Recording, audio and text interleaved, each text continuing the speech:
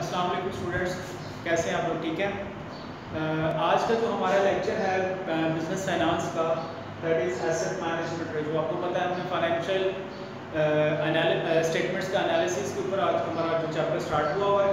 उसमें सबसे पहले हमने लिक्विडिटी रेशियोज़ के बारे में पढ़ा था। कल जो लास्ट टाइम हमारा लेक्चर डिस्कस हुआ था, आज जो है एसेट मैनेजमेंट रेशो के नाम। ठीक है? कि एक कंपनी जो होगी, एक फर्म जो होगी, वो अपने एसेट्स को किस तरीके से इफेक्टिवली मैनेज करती है? कि अपने एसेट्स को इस तरीके से मैनेज करें कि इनका जो प्रॉफिट होता है, वो ज़्यादा से ज़्यादा आए। आपने उसको तरीक़ेकार को पढ़ना है। इसके अंदर कौन कौन सी ऐसी इफ़ेक्टिव जो एसेट मैनेजमेंट रेशोज़ में यूज़ होती है, उनको भी हमें डिस्कस करना है। ठीक है जी? तो आपकी बुक का page number one zero one है। ठीक है? तो सबसे पहले तो एसेट मैनेजमेंट रेशियो की उसने डेफिनेशन छोटी सी एक साइड पे लिखी हुई लेफ़्ट साइड पे, उसने लिखा अ सेट ऑफ़ रेशियोज कि ये एक रेशियोज का सेट है, जिसमें ये चार रेशियोज आपके बयान की हैं। That measures how effectively a firm is managing its asset कि किस तरीके से एक फर्म जो है अपने एसेट्स को इफेक्टिवली मैनेज करती है। तो उस पूरे सेट ऑफ़ रेशियोज को हम क्या नाम देते हैं? एसेट्स मैनेजमेंट रेशियोज का नाम देते हैं। तो ये सेकंड ग्रुप है आपके रेशियोज का, ठीक है?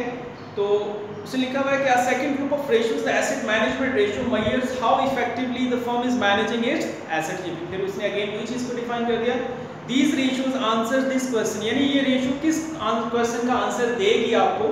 उसमें उसने लिखा does the amount of each type of asset seem reasonably कि जो हमारे पास एसेट्स हैं, क्या उनकी अमाउंट हमारे पास रीजनेबल है? क्या ज़्यादा too much high too much low तो नहीं है। अकॉर्डिंग टू किस पॉइंट से हमने देखना है इस चीज़ को? कि वो ज़्यादा हाई है या ज़्यादा लो है, उसके करंट और प्रोजेक्टेड सेल्स के से उसको हमने कंपैरिजन करना है। यानी कि हमने उसके एसेट्स को कंपेयर किससे कर रहे हैं? हमने उसके करंट सेल्स को और जो उसकी इन फ्यूचर प्रोजेक्टेड सेल्स है, उसके साथ हमने कंपैरिजन करना है कि उसकी सेल्स के अकॉर्डिंग क्या जो उसके पास एसेट्स हैं, उसके फर्म के अंदर, क्या उनकी वैल्यू ज़्यादा ज़्यादा ज़्यादा हाई तो नहीं है या ज़्यादा लो तो नहीं है? तो ये दोनों नुकसान दे ज़्यादा हाई भी नहीं होनी चाहिए, ज़्यादा लो भी नहीं होनी चाहिए। इससे आपके प्रॉफिट पे असर होता है, ठीक है? इसी तरीके से सोचेंगे व्हेन दे एक्वायर एसेट्स कि आप ये एसेट्स कब एक्वायर करेंगे? Allied and other companies must obtain capital from banks and other sources आपको पता है, हम जो इसमें एक एग्जांपल अलाइड फ़ूड प्रोडक्ट्स की एग्जांपल लेके चल रहे हैं, कि दूसरी कंपनीज़ भी या दूसरी फर्म्स भी, जो अलाइड फर्म भी होगी, वो हमेशा अपने एसेट्स कहाँ से केयर अपने एसेट्स कहाँ से लेगी? बैंक से लोन लेके भी कर सकती है और अपना कैपिटल किसी और सोर्स से भी वो कर सकती है। If a firm has too many assets कि अगर फर्म के पास बहुत ज़्यादा एसेट्स हैं तो its cost of capital will be too high तो उसकी कॉस्ट ऑफ़ कैपिटल क्या होगी? बहुत ज़्यादा हाई होगी। And its profit will be depressed और उसका प्रॉफिट जो होगा वो डिप्रेस होगा कम ऑन द अदर हैंड दूसरी तरफ़ if the assets are too low profitable sales will be lost अगर उसकी एसेट्स बहुत ज़्यादा कम है तो उसकी जो प्रॉफिट सेल्स की जो प्रॉफिट होगी वो भी बहुत ज़्यादा लो हो जाएगी। The asset management ratio describes in this sections are important इसलिए हम एसेट्स मैनेजमेंट रेशियो को डिस्क्राइब करेंगे कि हमने डिस्कस करना है अपने एसेट्स की मैनेजमेंट को, कि हम अपने एसेट्स को किस तरीके से मैनेज करेंगे और हम अपने प्रॉफिट को किस तरीके से इंक्रीज कर सकते हैं, ठीक है?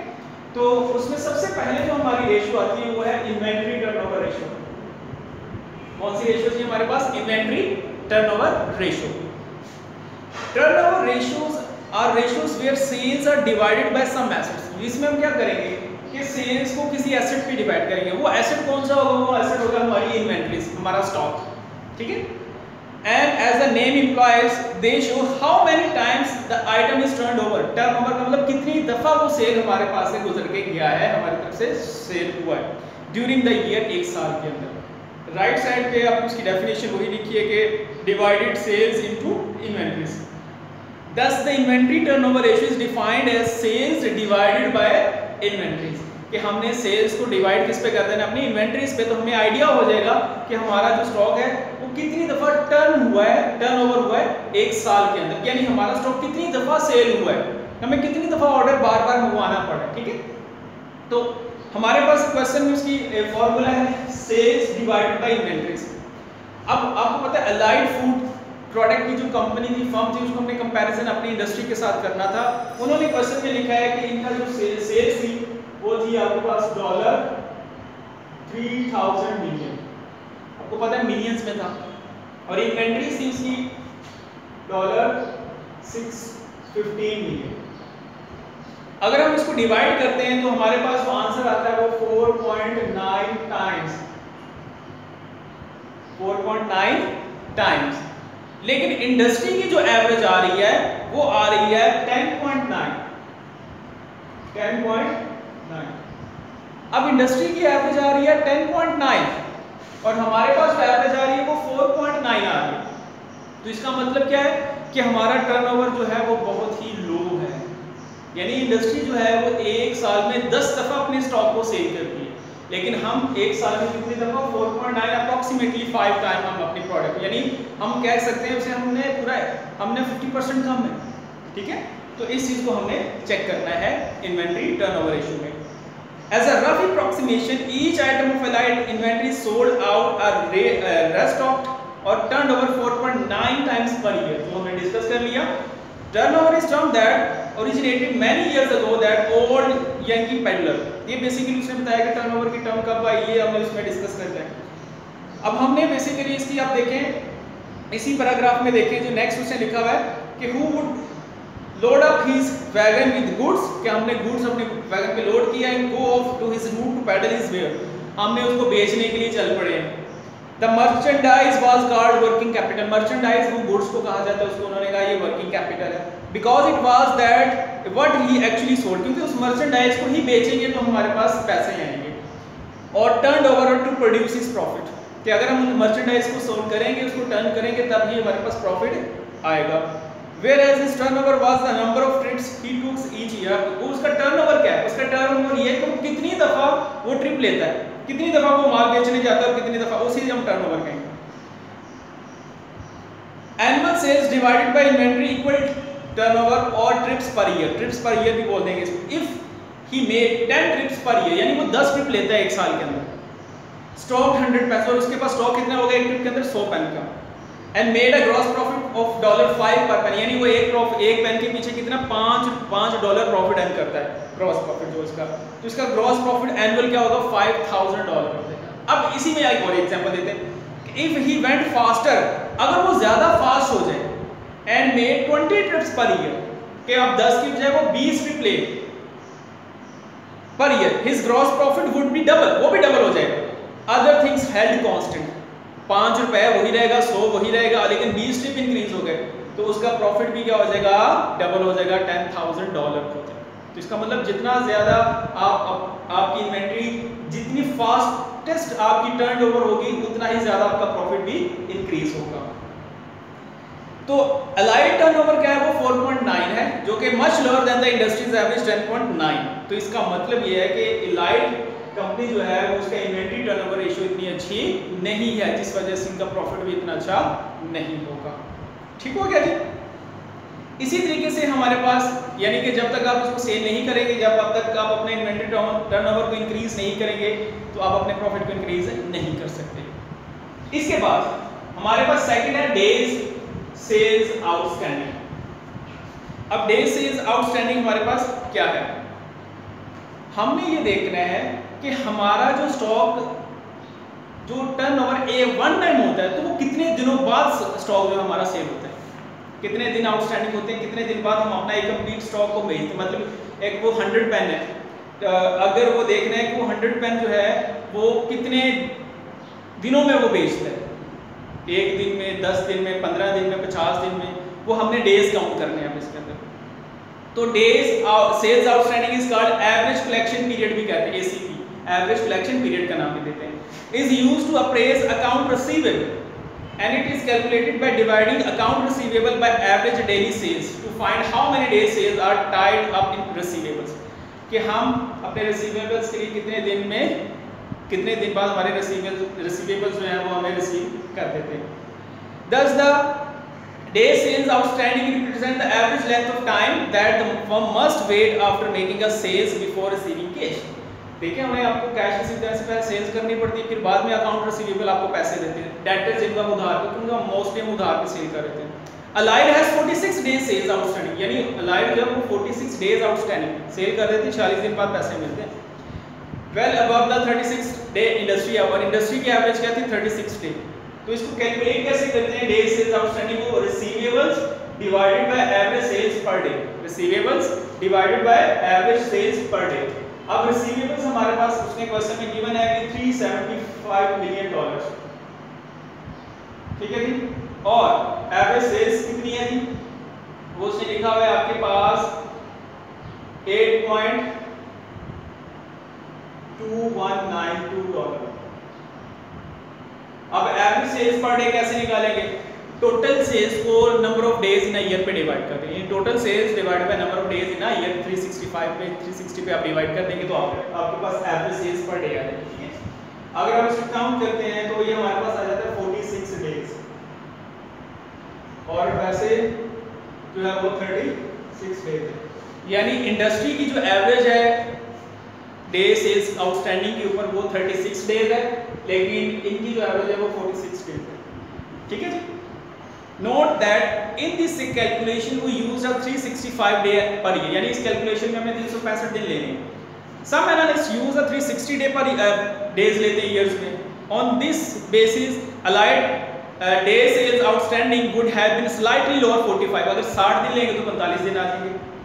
The DSO can also be evaluated by comparing it with the terms on which firm sell its goods कि कितने terms पे वो बेचती हैं। For example, Allied sales terms call for payment within 30 days Allied कहती है 30 दिन के अंदर अंदर हमने आपने पेमेंट करनी क्योंकि मैंने आपको चीज़ें बेची तो 30 दिन के अंदर अंदर आपने हमें पेमेंट करनी है। So the fact that 46 days is not 30 days 46 days तो 30 दिन तो नहीं ना कहलाएँगे। Are outstanding indicate that customers on the average are not paying their bills on the time इसका मतलब क्या है? अगर आप एक महीने का टाइम देते हैं चीज़ों को बेचने के बाद पैसे रिसीव करने का, और अगर वो 30 दिन के अंदर नहीं रिटर्न करे इसका मतलब वो 46 डेज़ में रिटर्न कर तो इसका मतलब आपका कस्टमर आपको पेमेंट ऑन टाइम पे नहीं कर रहा। जब कस्टमर आपको इन टाइम पेमेंट नहीं करता तो इसका मतलब क्या हुआ तो आपके पास क्या रिसीवेबल्स कम होंगे। This deprives the company's of funds that could be used to reduce bank loans or some other types of costly capital आपका बैंक लोन जो होगा, वो रिड्यूस हो जाएगा। Moreover with high average DSO it is likely that number of customers are paying very late इसका मतलब ये भी है कि ज़्यादा दिन लेते हैं तो इसका मतलब बहुत लेट पेमेंट करते हैं। दोस्त कस्टमर्स में विल बी फाइनेंशियल ट्रबल हो सकता है कि वो कस्टमर फाइनेंशियली जो है ना, वो ट्रबल में है, जिस वजह से वो आपको टाइम पे पेमेंट नहीं कर पा रहे। Therefore if the trend in D S over the past few year has been rising but the credit policy has not been change this would be the strong evidence that step should be taken to expedite the collection of account receivable लेकिन अगर उन्होंने कहा, यही policy आपकी काफ़ी अरसे से चलती रही कि इसी तरीके से लेट रिसीवेबल होते रहे तो फिर आप लोगों को एसेट मैनेजमेंट को ये चाहिए होगा, आपकी कंपनी की मैनेजमेंट फर्म को मैनेजमेंट को चाहिए होगा कि वो अकाउंट रिसीवेबल की पॉलिसी को चेंज करे, उसको रिवाइज करे कि जल्द अज जल्द आपको रिसीवेबल्स हो। जितनी जल्दी आपके पास रिसीवेबल्स आएँगे, आपके वर्किंग कैपिटल उतनी ज़्यादा होगा। आपका पैसा नहीं तो वो बाउंड हो जाएगा। आपका पैसा जो आपको आज नहीं, कल तो मिलना लेकिन वो आपके लिए वो नहीं मिल रहा, वो बाउंड हो जाएगा। उस पैसे से आप और ज़्यादा बिज़नेस नहीं परफॉर्म कर सकते। ठीक हो गया? तो ये डे सेल्स आउटस्टैंडिंग की रेशो थी कि हमें पता चल जाता है कि हमारे रिसीवेबल कितना लेट पेमेंट करते हैं। जितनी जल्दी पेमेंट करेंगे, उतना ही हमारे लिए फेवरेबल ठीक है जी? उसके बाद third one is the fix asset turnover ratio fix asset turnover ratio अब fix asset turnover ratio basically simple सी बात है कि हमने सेल्स को डिवाइड कर देना अपने नेट फिक्स एसेट्स पे। तो हमें पता चल जाएगा कि हमारी फिक्स टर्नओवर एसेट रेशो कितनी the fix asset turnover ratio measures how effectively firms use its plant and equipment fix asset से हमें पता चलता है इस रेशो से कि हमारा जो प्लांट एंड इक्विपमेंट है, जो कि मर्चेंडाइज मैन्युफैक्चर करने के लिए यूज़ हो रहा है, वो कितना इफेक्टिवली यूज़ हो रहा है कि जितनी जल्दी हम सेल्स कर रहे हैं नया प्लांट नई मैन्युफैक्चरिंग करी जा रही है। It is the ratio of sales to net fix assets sales divided by net fix asset यानी सेल्स को डिवाइड कर देना है आपने नेट फिक्स एसेट्स के ऊपर। अब क्वेश्चन के अंदर उसने बताया हुआ है कि आपके पास जो सेल्स थी वो थी आपके पास डॉलर थ्री थाउज़ेंड मिलियन वो फिक्स एसेट थे डॉलर वन थाउज़ेंड मिलियन तो आपके पास ये आ जाता है थ्री पॉइंट ज़ीरो और लेकिन जो आपके पास फोर पॉइंट वो आपके पास है टू पॉइंट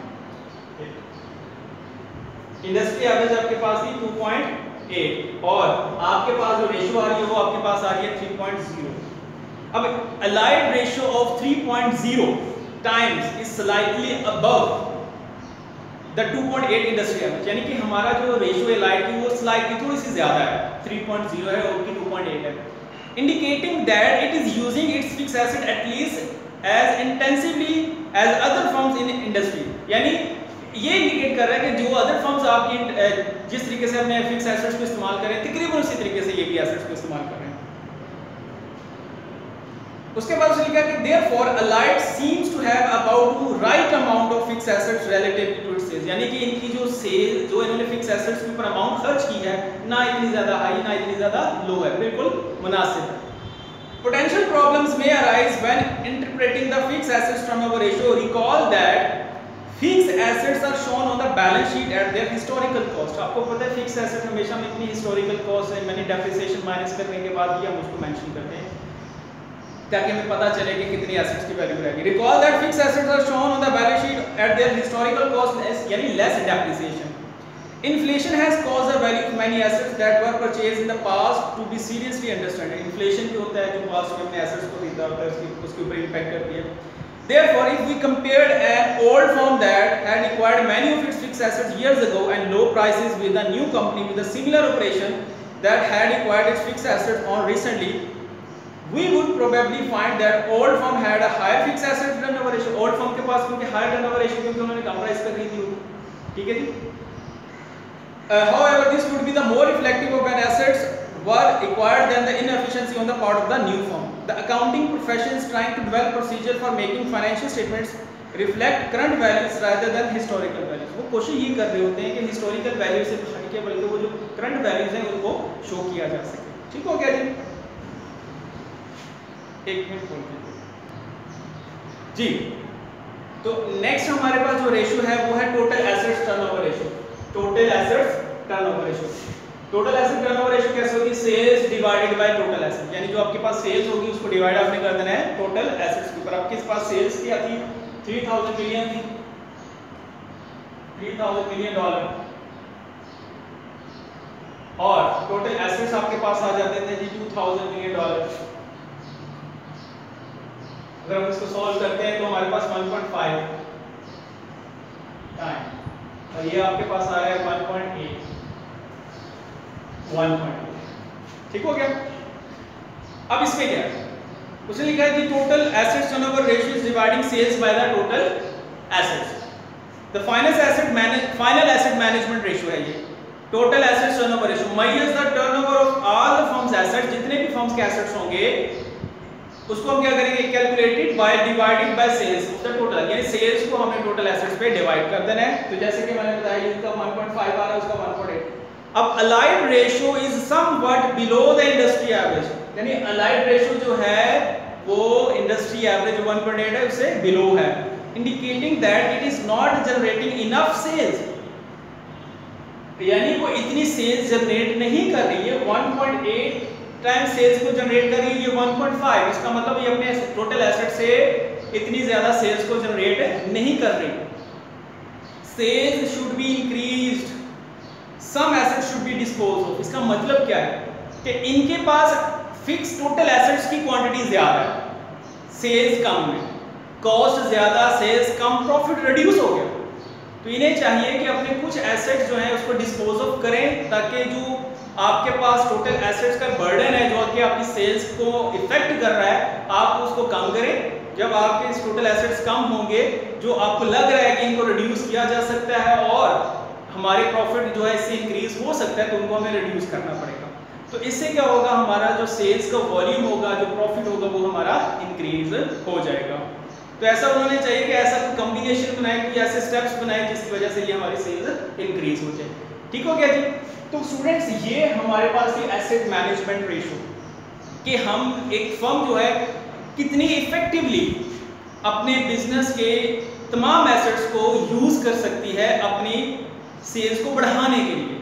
ठीक है जी? जिसमें हमने चार रेशियोज को डिस्कस किया। इन्वेंट्री टर्नओवर रेशियो को इन्वेंट्री टर्नओवर रेशियो को हमने डिस्कस किया कि एक फर्म जो है, वो अपनी इन्वेंट्री को एक साल के अंदर कितनी दफ़ा सेल करती है। जितनी ज़्यादा इन्वेंट्री टर्नओवर रेशियो होगी, उतने ही ज़्यादा आपकी सेल्स होगी, उतने ज़्यादा आपका प्रॉफिट होगा। ठीक हो गया? इसके बाद हमारे पास डे सेल्स आउटस्टैंडिंग था। डे सेल्स आउटस्टैंडिंग ये शो करता है कि हमने जो सेल्स की है ऑन क्रेडिट बेसिस पे की है क्या हमारे जो अकाउंट रिसीवेबल्स हैं, वो हमें इन टाइम पेमेंट कर देते हैं या नहीं कर देते? तो इसमें हमें वो डेज़ कैलकुलेट करने पड़ते हैं कि कितने दिनों में हमारे जो रिसीवेबल्स हैं, वो हमें पेमेंट करेंगे। अगर हमने एक 30 डेज़ का टाइम दिया है और वो हमें कर रहे हैं 46 डेज़ में मींस कि हमारे जो कस्टमर हैं, वो फाइनेंशियली स्ट्रांग नहीं हैं, वो हमें इन टाइम पेमेंट नहीं कर रहे। तो जिसकी वजह से हमारा रिसीवेबल जो है ना इन टाइम नहीं रिसीव होता है और हमारा कैपिटल जो होता है वर्किंग कैपिटल वो रिड्यूस रहता है। इसलिए हमें चाहिए कि हम कुछ इस तरीके से मैथड्स बनाएँ, कुछ इस तरीके से पॉलिसीज़ बनाएँ कि उन पॉलिसीज़ को अडॉप्ट करें और वो पॉलिसीज़ हमारे कस्टमर्स भी अडॉप्ट करें कि वो हमें इन टाइम पेमेंट्स कर सकें, हमें ज़्यादा पेंडिंग ना करें उसके बाद है फिक्स एसेट टर्नओवर रेशियो हमें ये चेक करना है कि जो हमारे फिक्स एसेट्स हैं, जो मशीन की है इक्विपमेंट है वो हमारे कितनी इफेक्टिवली वर्क कर रही है कि हमारी सेल्स में इजाफा कर रही है। ठीक है जी, ये 3.0 है, ये 2.8 है, इसका मतलब ये था, ये बिल्कुल नज़दीक नहीं था सर यानी कि हम ये कह सकते थे रीज़नेबल था कि हमारे फिक्स एसेट जो है ना वो हमारी सेल्स को जो इंडस्ट्री की एवरेज चल रही है, तकरीबन उसके बराबर है, यानी कि ठीक चल रही है। ठीक है? और उसके बाद हमारे पास है टोटल एसेट टर्नओवर रेशियो अब जो टोटल एसेट टर्नओवर रेशियो था टोटल एसेट टर्नओवर रेशियो में मैंने आपसे डिस्कस किया था कि हमने ये देखना है कि हमारे बिज़नेस के जो टोटल एसेट्स हैं, वो हमारी सेल्स के ऊपर कितना इफ़ेक्ट करती है। क्या टोटल एसेट्स की वजह से हमारी सेल रिड्यूस तो नहीं हो रही? क्योंकि हमने स्टार्टिंग में ये डिस्कस किया था कि अगर हमने इसमें एसेट्स मैनेजमेंट रेशियो पढ़नी, हमने ये देखना है कि हमारे एसेट्स की वैल्यू टू मच हाई तो नहीं टू मच लो तो नहीं। अब अगर यहाँ पे देखा जाए तो हमने देखा है कि 3000 मिलियन डॉलर जो है आपकी सेल्स है। और 2000 मिलियन डॉलर्स आपके एसेट्स हैं। तो रेशियो जो आ रही है वो 1.5 है, लेकिन इंडस्ट्री एवरेज 1.8 है। यानी इंडस्ट्री की जो एवरेज है, जो उनके टोटल एसेट्स उनको रेवेन्यू दे रहे हैं सेल्स दे रहे हैं, वो 1.8 दे रहे हैं। लेकिन हम 1.5 ले रहे हैं मींस हम उससे कम ले रहे हैं। तो इसका मतलब ये है कि रेशियो कम आने का मतलब ये है कि हमारे एसेट्स बहुत ज़्यादा हैं, जो कि हमें सेल्स में इजाफा नहीं करने दे रहे। तो वो हमारी कॉस्ट में आ जाता है। तो इसलिए हमें कुछ ऐसे कम्बिनेशन बनाने चाहिए कि ऐसे एसेट्स को अडॉप्ट करना चाहिए जो हमें लगता है कि उन एसेट्स को हम डिस्पोज ऑफ़ कर दें और इनको डिस्पोज ऑफ़ करने के बाद हम अपनी सेल्स को इंक्रीज कर सकें, हम अपने प्रॉफिट को इंक्रीज करें। तो ये हमारी चार रेशो थी जो मैंने आपसे डिस्कस कर ली हैं कि जो हमारी एसेट मैनेजमेंट टर्नओवर रेशो है। तो उम्मीद करता हूँ आप लोगों को इस लेक्चर की समझ आई होगी। जो भी क्वेश्चन होगा आप लोग पूछिएगा। इससे रिलेटेड आपके कुछ क्वेश्चन नीचे दिए हुए हैं। और उसको आपने पढ़ना है और उनको आंसर निकालना है। एक दफ़ा क्वेश्चंस को रीड आउट कर देता हूँ। नंबर वन उसने लिखा है identify four ratio that are used to measure how effectively a firm manage its assets and write out their equation आपने उनकी यही जो मैंने इक्वेशंस लिखी ये चार ऐसे यही उसका आंसर होगा। If one firm is growing rapidly एक फर्म बहुत तेज़ी से रैपिडली इंक्रीज कर रही है एंड अनदर इज़ नॉट और दूसरी नहीं कर रही how might this distort a comparison of their inventory turnover ratio अब हमने उसकी इन्वेंटरी टर्नओवर रेशियो को कंपैरिजन कर रहे हैं, जो ग्रो कर रही है, जो ग्रो नहीं कर रही, क्या रीजंस हैं वो हमें बतानी है नंबर थ्री है if you want to evaluate a firms DSO यानी उसकी डे सेल्स आउटस्टैंडिंग आपने इवैल्यूएट करने with what would you compare it उसको आपने किसके साथ कंपेयर करना है? ये चीज़ों को हमने इसका आंसर दिया है। फिर उसके बाद what potential problems might arise when comparing different firms fix asset turnover ratio कौन कौन सी पोटेंशियल प्रॉब्लम्स हो सकती हैं जब हम डिफरेंट फर्म्स के फिक्स एसेट टर्नओवर रेशियोज को आपस में कंपैरिजन करते हैं? फिर एक उसने एक छोटा सा न्यूमेरिकल दिया है कि firm has annual sales of 100 million dollar 20 million of inventory and 30 million dollar of account receivable what is its inventory turnover ratio आपने इन्वेंट्री टर्नओवर रेशियो कैलकुलेट करनी है. And what is the DSO based on 365 per year और आपने उसके days uh, जो sales outstanding है उसको calculate करना है। ठीक है जी? तो बच्चे ये अपने क्वेश्चन है इसको भी आपने सॉल्व करना है। ठीक है? और इसको अच्छे तरीके से uh, याद कीजिएगा इसको पढ़िएगा। और ये क्वेश्चंस को आंसर्स आप लाजमी कीजिएगा। और अगर आपको कोई भी इशू होगा इससे रिलेटेड तो मुझसे क्वेश्चन पूछ सकते हैं। तो अपना बहुत सा ख्याल रखिएगा जी। अल्लाह हाफिज़।